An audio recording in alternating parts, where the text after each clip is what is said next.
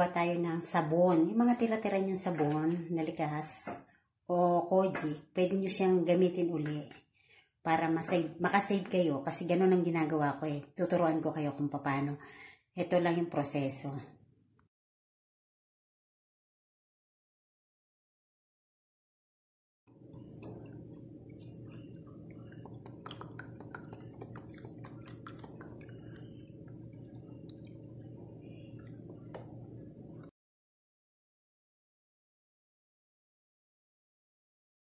Yung gatas, hinaan nyo lang ha. Huwag masyadong malakas kasi masusunog eh. Alalay lang yung ano niya. Apoy niya. Unahin natin ilagay yung medyo malalaki ang hiwa. Yan. Ito oh. Ito. Ito. Unahin natin siya ilagay. Kasi sayang. Yung mga tira-tira ko yan sabon eh. Sinasama ko rin siya. Tapos, haluin natin ang haluin kasi mabilis siyang mag-init. Mabilis siyang matunaw. Pag nag-melt na siya, pwede na natin isama yung iba. Kaya, bantayan nyo guys ha. Kasi masusunog siya eh. Kailangan niya talaga siyang haluin. Pag sa palagay nyo okay na siya, pag natunaw-tunaw na siya, kasi may, medyo malaki ang hiwa niya. eh. Pag natunaw na siya, pwede na natin isunod yung mga maliliit ang hiwa. Sige lang, halo tayo. Hanggang sa mag-melt-melt na siya. Kasi medyo malaki ang, hindi na mahiwa eh. Sa mga tira-tira ko lang yung sabon. Sinasama ko para hindi masayang.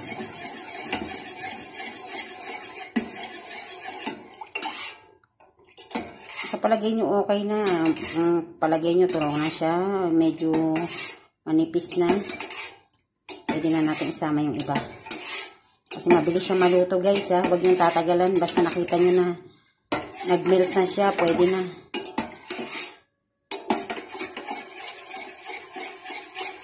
Sige lang halo tayo guys. Halo, halo, halo.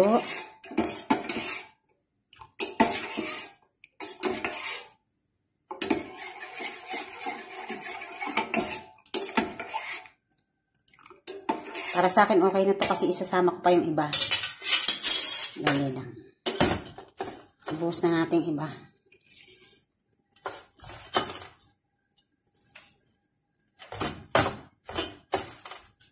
Isang buo yan ha. Isang buong likas papay. Ah, koji. Hindi pala. Sorry.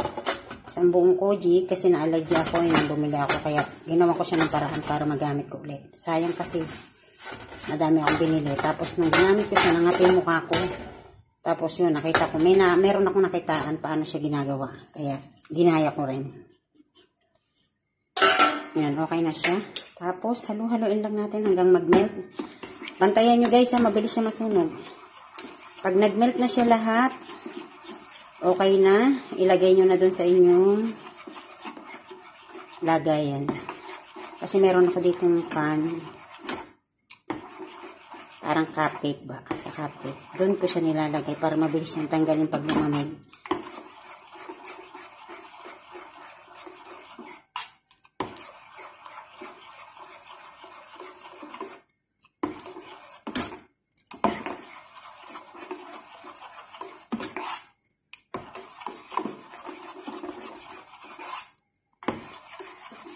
Pag sa palagay nyo ha, guys, ha, babantayan nyo ha, kasi masusunog siya. Babantayan nyo, palagay nyo, okay na siya. Pwede nyo na siya ilagay sa pan. Ayun, bahala kayo, anything na available sa bahay nyo, kung anong meron. Ito sa akin kasi okay na to, para hindi siya masunog. Medyo may malaki-laki pang hibla, pwede na yan. Hmm, diba? ang bango niya, tsaka ang lambot. Yung nakasave pa ako, yung isang piraso ko, nagiging 5 pieces yung nagagawa ko niyan eh. Kaya, sayang din, ang alam na nga natin na mahirap ang buhay natin.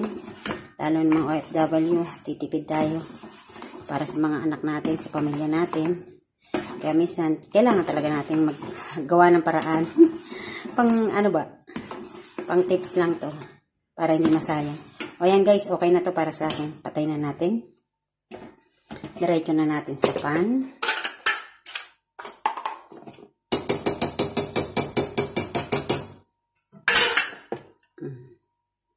Guys, so, tingnan nyo ha.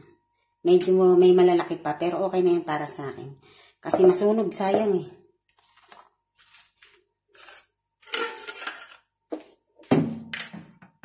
Kalhati lang, wag niyong pupunin kasi mahirap tanggalin siya pag napuno. Basta ako, ang minimum na nagagawa ko nito, 5 pieces. Basta magawa ako nito, laging 5 pieces. Hindi ako nag, uh, ano sa iba. 5 pieces lang. Is one, sa isang basong gatas nyo, 5 pieces.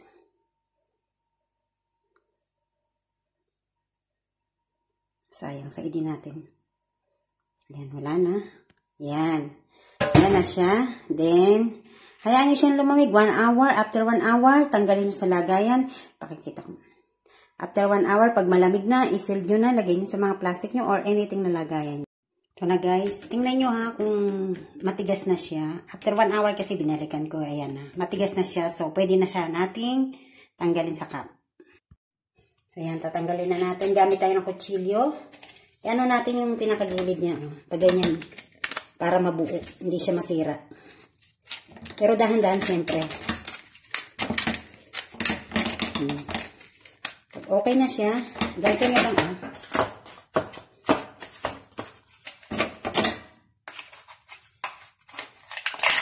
Hmm. Okay na siya. Hmm. Ito pa.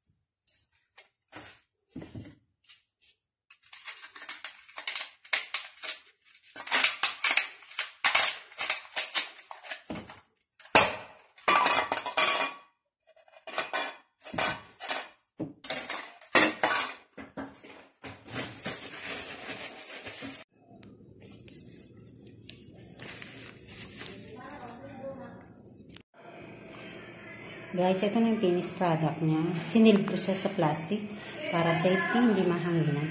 Pwede niyo rin siya ilagay sa tupperware o kung saan kayo may container na available, pwede niyo siyang ilagay.